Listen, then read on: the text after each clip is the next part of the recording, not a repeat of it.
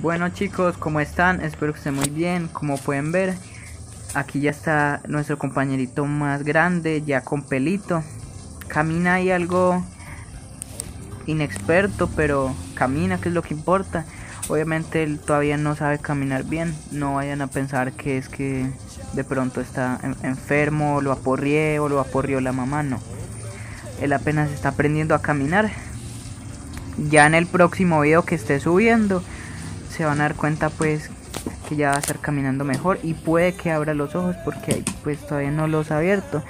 Lo que sí tiene es que como pueden ver, a pesar de que camina algo mal, eso no se queda quieto, le gusta mucho explorar y hacer muchas cosas. Eh, la mamá no la tengo aquí porque se murió. No, mentiras, obviamente no se murió.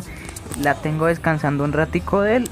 Yo eso pues lo, lo suelo hacer siempre con ella cuando tiene sus hijos.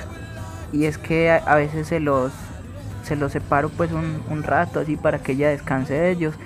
Y yo ya me hago cargo como un buen eh, dueño. Sí. Entonces como pueden ver ahí está muy bien espero pues que siga bien obviamente tengo que estar cuidándolo mucho obviamente el que el animalito esté bien no significa que lo voy a descuidar porque eso ya sería un problema y pues nada eso es todo el video es bastante corto lo hago más que todo como para informarles pues que ahí el animalito está bien. Está un poquito flaquito eso sí pues porque obviamente su crecimiento le dio algo difícil. No fue un crecimiento normal y no fue un nacimiento normal sino que al borde de la muerte, pero como pueden ver ahí está bastante bonito. Eh, algo rápido, pues ya para terminar el video, ya casi, ya pues vamos muy adelante con los suscriptores, pero aún así voy a hacer un video muy pronto, eh, pues mostrando mi cara, pues hablando de un tema en específico, espero que les guste. Eh, lo de los 500 suscriptores va a ser algo totalmente aparte, pues el especial.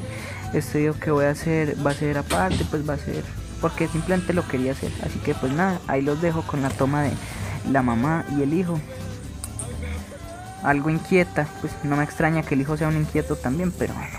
Muchas gracias por ver el video y hasta la próxima.